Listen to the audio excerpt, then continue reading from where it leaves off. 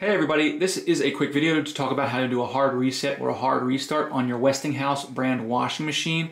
Um, you know, if you have like a sticky error code or maybe had a power surge or a power outage and since then your washing machine's just not acting right, uh, a lot of times just doing a hard reset will uh, just get everything working again. And plus it's real simple to do.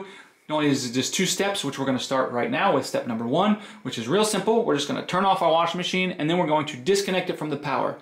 So um, either unplug it from the wall, being careful not to shock yourself, or um, turning on off at the uh, breaker.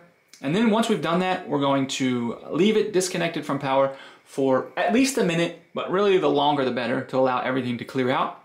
Um, once we've done that, um, we're going to move into step two, which is to restore power. And once we restore power, we're going to do a series of openings and closings of the door.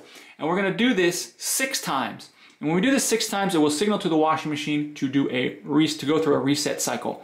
Um, and this is actually model dependent. Uh, it doesn't work on every model, and it can be anywhere between six and 12 openings.